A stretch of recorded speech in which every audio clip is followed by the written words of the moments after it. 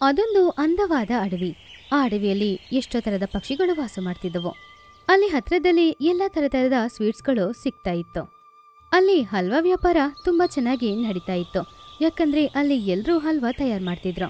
ಆದ್ರೆ ಟೋನಿ ತಯಾರು ಮಾಡುವ ಹಲ್ವಾ ಮಾತ್ರ ತುಂಬಾನೇ ಟೇಸ್ಟ್ ಆಗಿರ್ತಿತ್ತು. ಅದು ಅಲ್ಲದೆ ಟೋನಿ ತಯಾರಿ ಮಾಡುವ ಆ ಹಲ್ವಾನ ತಿಂದ್ರೆ ಏನಾದರೂ ರೋಗ ಕಾಯಿಲೆ ಇದ್ರೆ ಅದು ಗುಣ ಆಗುತ್ತೆ ಅನ್ನುವ ನಂಬಿಕೆಯಿಂದ ಅಕ್ಕಪಕ್ಕದ ಊರಿನಿಂದ ಸುಮಾರು ಜನ ಟೋನಿ ಹತ್ರ ಬಂದು ಹಲ್ವಾ ತಗೊಂಡು ಹೋಗ್ತಿದ್ರು.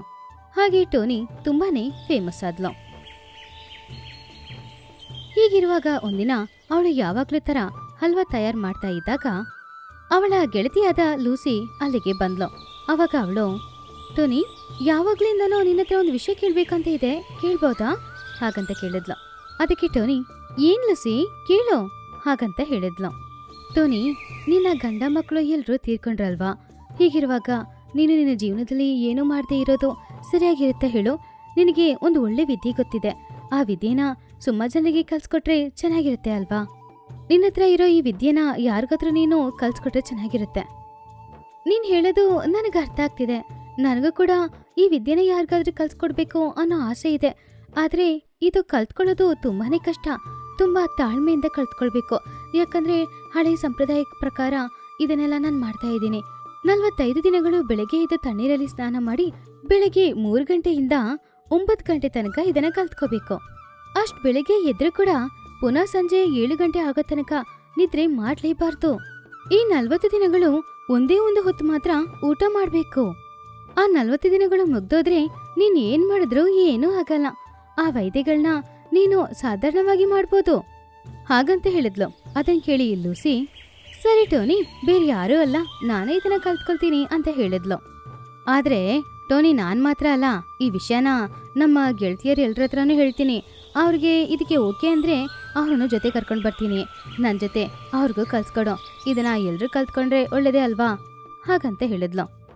ಅದಕ್ಕೆ ಅವಳು ಕೂಡ ಸರಿ ಅಂತ ಹೇಳಿದ್ಲು. ಹಾಗೆ ಆ ದಿನ ಮುಗಿದೋಯ್ತು ಆಮೇಲೆ ಆ ಮರುದಿನ ಅವಳ ಗೆಳತಿಯರಾದ ಡೋರಾ ಗುಬ್ಬಚ್ಚಿ ಚಿಚುಕಾಗೆ ಹಾಗೂ ಚೋಟು ಗಿಳಿ ಆಮೇಲೆ ಲೂಸಿ ಪಾರಿವಾಳ. ಎಲ್ರೂ ಕೂಡ ಟೋನಿ ಮನೆಗೆ ಬಂದ್ರು.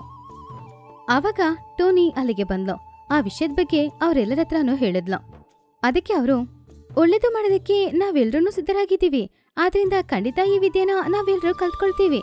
ಹಾಗಂತ ಎಲ್ರೂ ಹೇಳಿದ್ರು. ಅವಾಗ ಟೋನಿ, ಆದ್ರೆ ಗೆಳತಿಯರೇ ನಿಮ್ಮ ಹತ್ರ ಇನ್ನೊಂದು ವಿಷಯನೂ ಹೇಳಕ್ಕೆ ನಾನು ಮರ್ತೋದೆ.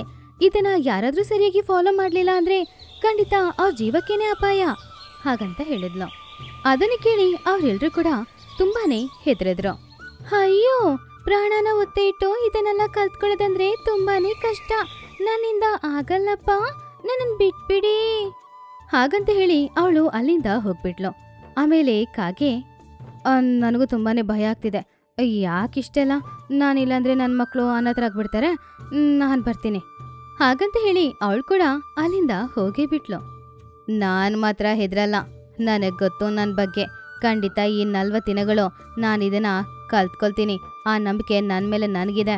ಹಾಗಂತ ಹೇಳಿದ್ಲು. ಸರಿ ಹಾಗಾದ್ರೆ, ಲೂಸಿ, ನೀನೇನು ಹೇಳ್ತೀಯಾ? ನಾನು ಹೆದ್ರಲ್ಲ ಟೋನಿ. ನಾಲ್ಕು ಜನರಿಗೆ ಸಹಾಯ ಮಾಡಬೇಕು ಅಂತ ನಾನು ನಿರ್ಧಾರ ಮಾಡಿದ್ದೀನಲ್ವಾ? ಖಂಡಿತ ನಾನು ಇದನ್ನ ಕಲ್ತ್ಕೋತೀನಿ ಅದರಿಂದ ವಾಪಸ್ ತಗೊಳ್ಳೋದಿಲ್ಲ. ಹಾಗಂತ ಹೇಳಿದ್ಲು. ಅದಕ್ಕೆ ಟೋನಿ, ತುಂಬಾ ಒಳ್ಳೇದು ಗೆಳತಿಯರೇ. ಇದನ್ನ ಕಲ್ತ್ಕೊಳ್ಳೋದ್ರಿಂದ ಯಾವ ಪ್ರಾಣಾಪಾಯನೂ ಇರಲ್ಲ.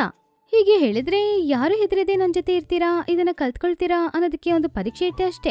ಅದರಲ್ಲಿ ಗೆದ್ದು ನೀವಿಬ್ರು ಇವಾಗ ನನ್ನ ಜೊತೆ ಇದ್ದೀರಾ? ಪಾಪ, ಹೆದರಿದವರು ಎಲ್ಲ ಬಿಟ್ಬಿಟ್ಟು ಹೋಗ್ಬಿಟ್ರು. ನನಗೆ ನಿಮ್ ಥರ ಜನರೇ ಬೇಕು.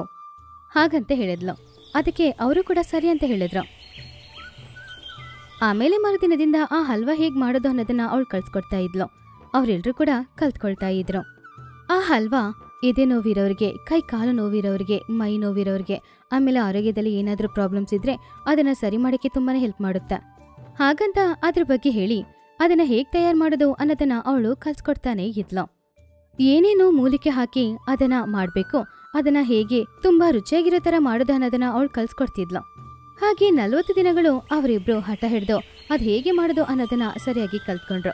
ಆಮೇಲೆ ಅವರು ಕೂಡ ಆ ಹಲ್ವಾನ ಮಾಡಿ ಅಕ್ಕಪಕ್ಕದ ಊರಿಗೆ ಹೋಗಿ ಅದರ ವಿಶೇಷತೆಯ ಬಗ್ಗೆ ಹೇಳಿ ಎಲ್ರಿಗೂ ಅದನ್ನು ವ್ಯಾಪಾರ ಮಾಡ್ತಾ ಇದ್ರು. ಹಾಗೆ ಅವರು ಅದನ್ನ ವ್ಯಾಪಾರ ಮಾಡ್ತಿದ್ದಾಗ ಸುಮಾರು ಜನ ಅದನ್ನ ಬಂದು ತಗೊಂಡು ಹೋಗ್ತಾ ಇದ್ರು. ಹಾಗೆ ಅವ್ರ ಹತ್ರ ತಗೊಂಡು ಹೋಗಿದ್ದ ಸುಮಾರು ಜನರಿಗೆ ಅವರಲ್ಲಿದ್ದ ಕಾಯಿಲೆಗಳು ಗುಣ ಆಗ್ತಾ ಇತ್ತು. ಹಾಗೆ ಟೋನಿ ಅವಳಿಗೆ ಗೊತ್ತಿರುವ ಆ ವಿದ್ಯೆನ ಅವರಿಬ್ಬರಿಗೆ ಕಲ್ತ್ಕೊಟ್ಟಿದ್ರಿಂದ ಇವಾಗ ಅವರು ಆ ವಿದ್ಯೆನ ಕಲ್ತ್ಕೊಳ್ಬೇಕು ಅಂತ ಆಸಕ್ತಿ ತೋರಿಸೋರಿಗೆ ಖಂಡಿತ ಆ ವಿದ್ಯೆನ ಅವರೆಲ್ಲರೂ ಕೂಡ ಕಲಸಿ ಕೊಡ್ತಾನೆ ಇದ್ರು. ಹಾಗೆ ಅವರೆಲ್ಲರೂ ಕೂಡ ತುಂಬಾನೇ ಫೇಮಸ್ ಆಗ್ತಾ ಇದ್ರು. ಆವಾಗ ಸ್ವಲ್ಪ ದಿನಗಳಲ್ಲಿ ಆ ಹಲ್ವಾ ವಿಶೇಷತೆ ಅಕ್ಕಪಕ್ಕದ ರಾಷ್ಟ್ರಗಳು ಎಲ್ರಿಗೂ ಕೂಡ ಗೊತ್ತಾಗಿ ಸುಮಾಜನ ತಗೊಂಡು ಹೋಗ್ತಾನೆ ಇದ್ರು.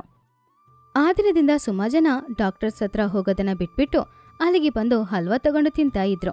ಹಾಗೆ ಟೋನಿಯಿಂದ ಕಲ್ತ್ಕೊಂಡ ಆ ವಿದ್ಯೆನ ಅವರು ಈ ರೀತಿ ಉಪಯೋಗ ಮಾಡ್ಕೊಂಡು ಸುಮಾರು ಜನರಿಗೆ ಅವರಿಂದಾದ ಸಹಾಯನ ಮಾಡ್ತಾ ಇದ್ರು. ಟೋನಿ ಹತ್ರ ಇಂದ ಆ ವಿದ್ಯೆನ ಕಲ್ತ್ಕೊಂಡಿದ್ದಕ್ಕೆ ಅವರಿಬ್ರು ಕೂಡ ತುಂಬಾನೇ ಗರ್ವ ಪಡ್ತಾ ಇದ್ರು. Tony summer special mango juice. ಟೋನಿಗೆ ತುಂಬಾ ದೊಡ್ಡದಾದ ಮಾವಿನ ತೋಟ ಇತ್ತು. ಆ ಮಾವಿನ ತೋಟದಲ್ಲಿ ಇದ್ದ ಮಾವಿನ ಹಣ್ಣುಗಳನ್ನು ಸುಮಾರು ಜನ ಮಕ್ಕಳು, ದೊಡ್ಡವರು ಎಲ್ಲರೂ ಕಿತ್ಕೊಂಡು ಹೋಗ್ತಾ ಇದ್ರು. ಆದ್ರೆ ಅವ್ರು ಯಾರೂ ಅದ್ರ ಬಗ್ಗೆ ಯೋಚನೆ ಮಾಡೋದೇ ಇಲ್ಲ. ಆದ್ರೆ ಒಂದಿನ ಟೋನಿಯ ಗೆಳತಿಯಾದ ಲೂಸಿ ಪಾರಿವಾಳ ನೋಡ್ತಾ ಇದ್ದಾಗ ಚಿಚುಕಾಗೆ ಹಾಗೂ ಅದರ ಮಗು ಹಣ್ಣುಗಳನ್ನು ಕಿತ್ಕೊಂಡು ಹೋಗ್ತಿದ್ರು. ಏನೇನು ಈ ತೋಟ ನಿಮ್ಮ ಅಪ್ಪನ ಮನೆ ಆಸ್ತಿ ತರ ಹಾಯಾಗಿ ನಿನ್ ಮಗನ ಜೊತೆ ಬಂದು ಇಲ್ಲಿ ಕಿತ್ಕೊಂಡು ಹೋಗ್ತಾ ಇದೀಯಾ? ಇನ್ನೊಬ್ರು ವಸ್ತುಗಳ ಮೇಲೆ ಕೈ ಇಡೋದು ತಪ್ಪು ಅಂತ ನಿನಗೂ ಗೊತ್ತಿಲ್ಲ, ನಿನ್ ಮಗನಿಗೂ ಹೇಳ್ಕೊಟ್ಟಿಲ್ಲ. ಹಾಗಂತ ಬಾಯಿಗೆ ಬಂದ ಹಾಗೆ ಬೈತಾ ಇದ್ಲು. ಅವಾಗ ಚಿಚು ದಯವಿಟ್ಟು ನಮ್ಮ ಬಗ್ಗೆ ಹಾಗೆ ತಪ್ಪಾಗಿ ಹೇಳ್ಬಿಡಿ. ಇಲ್ಲಿ ಬೇಸಿಗೆ ಕಾಲ ಅನ್ನೋದ್ರಿಂದ ನಮ್ಮ ಪರಿಸ್ಥಿತಿ ಚೆನ್ನಾಗಿಲ್ಲ. ನಮ್ಗೆ ಆಹಾರನೂ ಸಿಗ್ತಾ ಇಲ್ಲ. ಅಕ್ಕಪಕ್ಕದ ಕೊಳಗಳೆಲ್ಲ ಬತ್ತಿ ಹೋಗಿದೆ. ಎಲ್ಲೂ ಹೋಗದೆ ಇರೋಕ್ಕಾಗ್ತಿರೋ ಪರಿಸ್ಥಿತಿ. ಅದಕ್ಕೆ ಇಲ್ಲಿಗೆ ಬಂದಿದ್ದೀವಿ. ನಾನು ಗೊತ್ತಿದ್ದು ಗೊತ್ತಿಲ್ಲದೇನೋ ತಪ್ಪು ಮಾಡಿದ್ರೆ ದಯವಿಟ್ಟು ನಮ್ಮನ್ನ ಕ್ಷಮಿಸ್ಬಿಡಿ. ಹಾಗಂತ ಚಿಚು ಅಳುತ್ತಾ ತನ್ನ ಮಗುವನ್ನು ಕರ್ಕೊಂಡು ಅಲ್ಲಿಂದ ಹೋಗ್ಬಿಡ್ತು. ಆವಾಗಲೇ ಅಲ್ಲಿಗೆ ಟೋನಿ ಬಂದ್ಲು. ಅರೆ, ಏನಾಯ್ತು? ಅವಳು ಯಾಕೆ ಹಾಗೆ ಅಳ್ತಾ ಹೋಗ್ತಿದ್ದಾಳೆ? ಅದನ್ನು ಕೇಳಿ ಲೂಸಿ ನಡೆದ ಎಲ್ಲ ವಿಷಯವನ್ನು ಹೇಳಿ, ನಾನೇ ಅವ್ರನ್ನ ಬೈದ್ಬಿಟ್ಟು ಕಳ್ಸಿರೋದು. ಸ್ವಲ್ಪನಾದ್ರೂ ಬುದ್ಧಿ ಇದೆಯಾ? ಇದೇನೋ ಅವ್ರ ಅಪ್ಪನ ಮನೆ ಆಸ್ತಿನ? ಯಾವಾಗ ಬೇಕಾದ್ರೂ, ಯಾರು ಬೇಕಾದ್ರೂ ಬಂದು ಹಣ್ಣುಗಳನ್ನ ಕೊಯ್ಕೊಂಡು ಹೋಗಕ್ಕೆ? ಅದಕ್ಕೆ ನಾನು ಸರಿಯಾಗಿ ಬೈದ್ಬಿಟ್ಟು ಕಳ್ಸಿರೋದು. ಹಾಗಂತ ಹೇಳಿದ್ಲ. ಈ ಮಾವಿನ ತೋಟನ ಸರಿಯಾಗಿ ನೋಡ್ಕೊಳ್ಬೇಕು ಅನ್ನೋದಕ್ಕೋಸ್ಕರನೇ ನಿನ್ನನ್ನ ನಾನು ಇಲ್ಲಿಗೆ ಬರಕ್ಕೆ ಆದ್ರೆ ಅದಕ್ಕೋಸ್ಕರ ನೀನು ಆ ಕಾಗೆನ ಬೈದ್ಬಿಟ್ಟು ಕಳ್ಸಿದ್ರೆ ನಂಗೆ ಇಷ್ಟ ಇಲ್ಲ. ಇನ್ನು ಹೇಳ್ಬೇಕಂದ್ರೆ ಅವ್ರಿಗೋಸ್ಕರನೇ ನಾವು ಇಲ್ಲಿ ತೋಟನ ಇಟ್ಟಿರೋದು.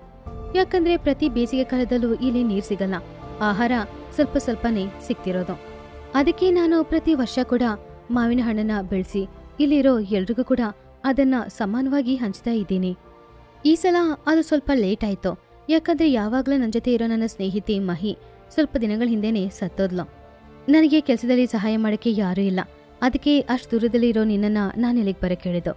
ಹಾಗಂತ ಹೇಳಿದ್ಲ. ಲೂಸಿ ಅದನ್ ಕೇಳಿ ತುಂಬಾ ಆಶ್ಚರ್ಯದಿಂದ, ಏನ್ ಹೇಳ್ತಾ ಇದೀಯ ಟೋನಿ ನೀನು? ಇಷ್ಟು ಹಣ ಖರ್ಚು ಮಾಡಿ ಮಾವಿನ ತೋಟ ಇಟ್ಟು ಇದನ್ನ ಇಲ್ಲಿರೋ ಎಲ್ರಿಗೂ ಕೂಡ ಉಚಿತವಾಗಿ ಕೊಡ್ತಾ ಇದೆಯಾ ನೀನು. ನಿನ್ ತರ ಒಳ್ಳೆ ಮನಸ್ಸಿರೋ ಸ್ನೇಹಿತೆ ಸಿಕ್ಕಿದ್ದಕ್ಕೆ ನಾನು ಏನಾದರೂ ಅದೃಷ್ಟ ಮಾಡಿರ್ಬೇಕು. ಹಾಗಂತ ಅವಳು ಎಲ್ಲ ಕಲ್ತ್ಕೊಂಡ್ಲು ಅವರಿಬ್ರು ಸೇರಿ ಅಲ್ಲಿದ್ದ ಹಣ್ಣುಗಳನ್ನ ಕೊಯ್ಯಕ್ಕೆ ಶುರು ಮಾಡಿದ್ರು. ಅವರೆಲ್ಲರೂ ಕೂಡ ಹಣ್ಣುಗಳನ್ನ ಕೊಯ್ದ್ಮೇಲೆ ಕೆಳಗೆ ಬಿದ್ದಿದ್ದ ಹಣ್ಣುಗಳನ್ನು ಕೂಡ ಸೇಕರಿಸಿ ಅದನ್ನ ಹೊರಗಡೆ ತಗೊಂಡು ಬಂದರು. ಲೂಸಿ, ಇದೆಲ್ಲವನ್ನು ನಮ್ಮ ಊರಿನ ಮಧ್ಯದಲ್ಲಿರುವ ಗೆಸ್ಟ್ ಹೌಸ್ಗೆ ತಗೊಂಡು ಹೋಗ್ಬೇಕು, ಬಾ. ಹಾಗಂತ ಹೇಳಿದ್ಲು. ಇಬ್ರು ಸೇರಿ ಆ ಹಣ್ಣುಗಳನ್ನು ಅಲ್ಲಿಗೆ ತಗೊಂಡು ಹೋದ್ರು. ಅಲ್ಲಿ ದೊಡ್ಡ ಜ್ಯೂಸ್ ಮಿಷಿನ್ ಒಂದು ಇತ್ತು. ಅಷ್ಟು ದೊಡ್ಡ ಮಿಷಿನ್ನ ನೋಡಿ ಲೂಸಿ ತುಂಬಾನೇ ಆಶ್ಚರ್ಯದಿಂದ ಹೀಗೆ ಕೇಳಿದ್ಲು. ಇಷ್ಟು ದೊಡ್ಡ ಮಿಷಿನ್ನ ಇವರಿಗೋಸ್ಕರನೇ ಇಲ್ಲಿ ಇಟ್ಟಿರೋದ ನೀನು? ಒಳ್ಳೆಯವಳು ನೀನು. ಹಾಗಂತ ಹೇಳಿ ಅವಳ ಸ್ನೇಹಿತೆಯನ್ನು ತುಂಬಾನೇ ಮೆಚ್ಕೊಂಡ್ಲು ಆಮೇಲೆ ಆ ಮಾವಿನ ಹಣ್ಣುಗಳನ್ನು ಆ ಮಿಕ್ಸಿ ಜಾರಲ್ಲಿ ಹಾಕಿದ್ರು. ಹಾಗೆ ಅವರೆಲ್ಲರೂ ಮಾವಿನ ಹಣ್ಣಿನ ಜ್ಯೂಸ್ ರೆಡಿ ಮಾಡಿದ್ರು. ಅದೆಲ್ಲವನ್ನು ಹೊರಗಡೆ ತಗೊಂಡು ಬಂದಿಟ್ಟು ಅವರೆಲ್ಲರೂ ತುಂಬಾ ಜೋರಾಗಿ, ಮ್ಯಾಂಗೋ ಜ್ಯೂಸ್ ಮ್ಯಾಂಗೋ ಜ್ಯೂಸ್, ಫ್ರೀಯಾಗಿ ಕೊಡ್ತೀನಿ, ಮ್ಯಾಂಗೋ ಜ್ಯೂಸ್ ಮ್ಯಾಂಗೋ ಜ್ಯೂಸ್, ಎಲ್ರು ಬನ್ನಿ ಹಾಗಂತ ಹೇಳಿ ಎಲ್ರೂ ಜೋರಾಗಿ ಕರಿತಾ ಇದ್ಲು. ಅಲ್ಲಿಗೆ ಬಂದವರಿಗೆ ಮ್ಯಾಂಗೋ ಜ್ಯೂಸ್ನ ಕೊಡ್ತಾ ಇದ್ಲು. ಅಲ್ಲಿಗೆ ಬಂದವರು ಎಲ್ರು ಕೂಡ ತುಂಬಾ ಸಂತೋಷವಾಗಿ ಫ್ರೀಯಾಗಿ ಅದನ್ನು ಕುಡ್ಕೊಂಡು ಹೋಗ್ತಾ ಇದ್ರು. ಈ ಸಲ ತುಂಬಾ ಲೇಟ್ ಆಯ್ತು ಅಮ್ಮವ್ರೆ ಅದಕ್ಕೆ ಹಸುವನ್ನು ತಡ್ಕೊಳಕ್ಕಾಗದೆ ನಾವೆಲ್ರೂ ಕೂಡ ನಿಮ್ ತೋಟಕ್ಕೆ ಹೋಗಿ ನಿಮ್ಮ ಅನುಮತಿ ಇಲ್ದೇನೆ ಮಾವಿನ ಹಣ್ಣನ್ನ ತಿನ್ಬೇಕಾಗಿ ಬಂತು ನಮ್ಮನ್ನ ಕ್ಷಮಿಸ್ಬಿಡಿ ಹಾಗಂತ ಹೇಳಿದ್ರು. ಅದಕ್ಕೆ ಅವಳು, ಅದೇನು ಪರವಾಗಿಲ್ಲ ಅಂತ. ಅಲ್ಲಿದ್ದ ಎಲ್ರಿಗೂ ಕೂಡ ಅವಳು ಜ್ಯೂಸನ್ನು ಕೊಡ್ತಿದ್ಲು. ಅಲ್ಲಿದ್ದವರು ಎಲ್ರು ಕೂಡ ಆ ಜ್ಯೂಸನ್ನು ಕುಡಿದು, ಅದು ತುಂಬಾನೇ ಅದ್ಭುತವಾಗಿದೆ, ತುಂಬಾ ರುಚಿಯಾಗಿದೆ ಅಂತ ಅವಳನ್ನು ಹೊಗಳಿ ಹೋಗ್ತಾ ಇದ್ರು. ಹಾಗೆ ಕೆಲವು ದಿನಗಳವರೆಗೂ ಅವರಿಗೆ ಅವರೆಲ್ಲರೂ ಉಚಿತವಾಗಿ ಜ್ಯೂಸ್ನ ಕೊಡ್ತಾ ಇದ್ರು. ಟೋನಿ, ನೀನೊಬ್ಳು ಮಾತ್ರ ಯಾಕೆ? ನಿಂತರನೇ ಇರೋ ಸುಮಾರು ಫ್ರೆಂಡ್ಸ್ ಕೂಡ ನಮ್ ಜೊತೆ ಇದ್ದಾರೆ ಅಲ್ವಾ? ಅವ್ರ ಹತ್ರನೇ ಹೇಳಿ ಈ ತರ ಏನಾದ್ರೂ ಏರ್ಪಾಡುಗಳನ್ನ ನಾನು ಮಾಡಕ್ ಹೇಳ್ತೀನಿ ಅದಕ್ಕೆ ಟೋನಿ ಸರಿ ಅಂತ ಹೇಳಿದ್ಲ.